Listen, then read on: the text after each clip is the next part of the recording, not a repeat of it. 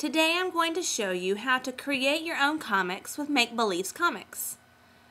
I already have one started for you, but I'm going to walk you through how to start. First, you need to open your internet browser and go to www.makebeliefscomix.com.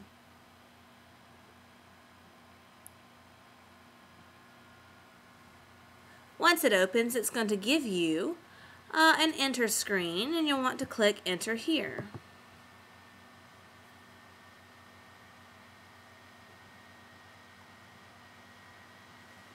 You'll see that it opens up with a blank screen template here. I have three squares in my comic strip. If I scroll down, I can choose two panels, three panels, or four panels. You'll want to select whatever is right for your purpose. In order to create, you need to click on, this, on the square in which you want to begin.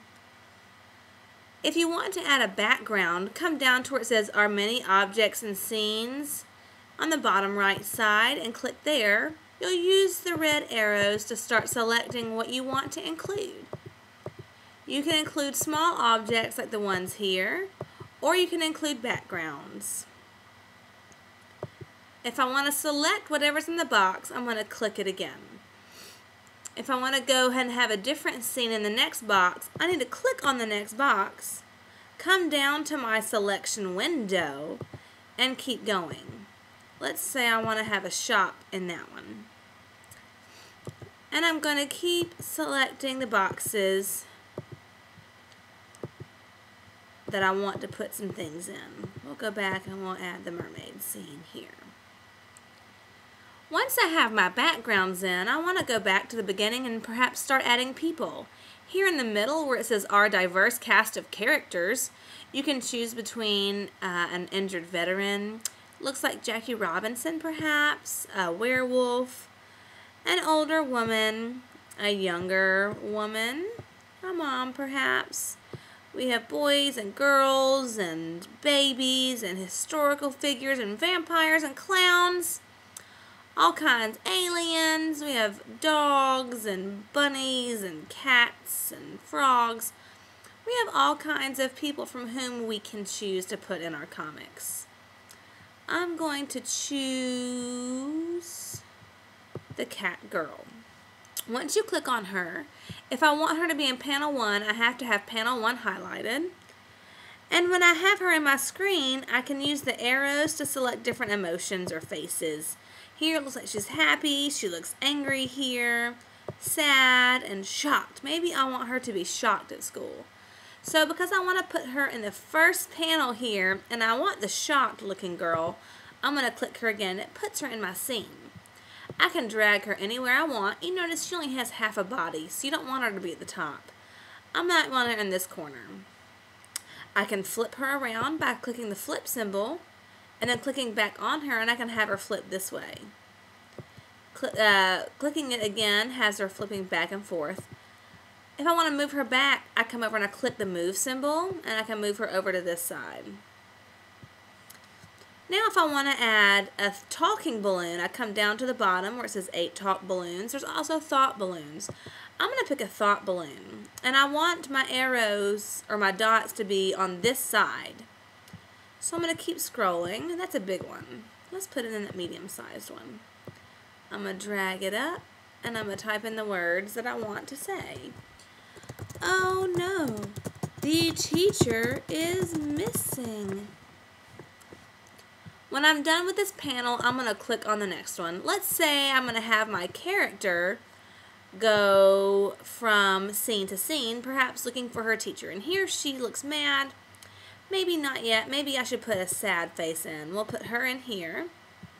And we'll have her in the middle. And let's put another thought bubble in. I like that size. And make sure that your bubbles here match the direction that your person is looking. So I'll say, hmm, she's not at the shop. Where could she be? I'm going to go to the next panel. Now maybe I'm going to pick that she's mad because she doesn't see her anywhere. She is mad and angry. I'm going to put her in. And I'm going to flip her around again. I'm going to go back to the move button and I'm going to drag her onto this side. And I'm going to add another thought balloon.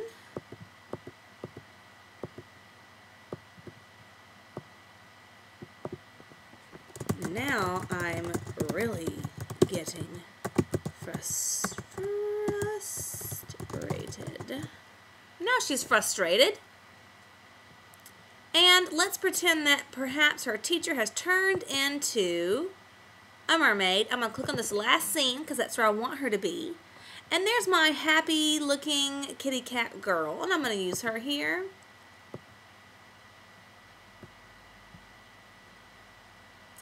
And I'm going to put in some talking balloons and I'll have her talk to her. Let's make it smaller. We're going to move it over. There. You are. And maybe the teacher's going to say,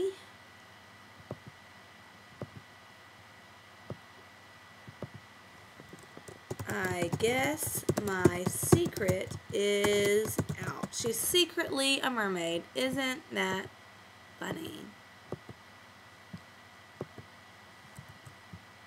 Let's see if we can select it to move it.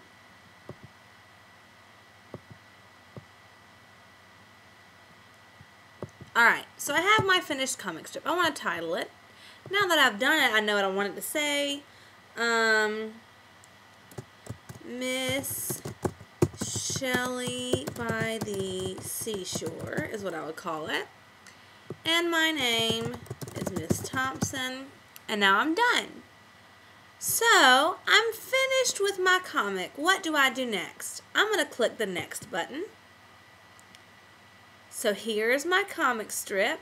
There's my title and my name. I can't save it. It says here on number two, we don't store comics. If you want, you can print a copy for yourself. You need to check with a grown-up before you print one. Or you can just email it. So I'm going to say it's for me, Miss Thompson. And you have to put in your email. Some of you may not have an email, so I'm going to give you a little tip here. Just put sample at sample.com it won't really know if you have an email or not. And then you're going to send it to your teacher or your parents or someone like that. And you're going to email your comic. Over here, you notice I've already created one. I did one about um, a veteran and if you'll see here, I've got my veteran who's been injured in the war, and I've got a young man, and they're at school. It's the same scene the same characters the whole time. And so the veteran is saying to the child, Hi there, I'm here to talk to your class about being a veteran. And the kid says, That's cool. We just learned about wars in Afghanistan. And then the uh, veteran says, That's where I fought. I lost my arm after an explosion. And the kid says, I'm glad you're here. I can't wait to hear your story. So they can be educational. And in my classroom, you will need to create the one that is, it, that is educational. Let's say my name is Sally. And I'm going to make up an email, sally at sample.com, and I'm going to email it to my teacher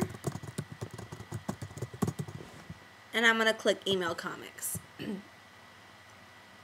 now, when I open my email, I can see right here, I have received a comics. So I'm going to go and click on the one that was emailed to me.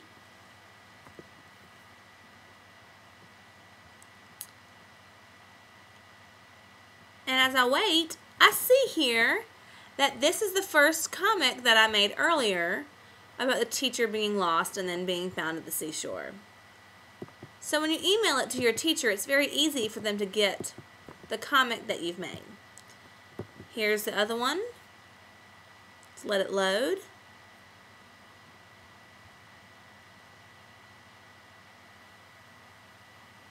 There you go. There's the one about honoring the veterans that was made earlier. Your teacher can print it out and keep it for her to grade, um, or it can be saved on your teacher's computer.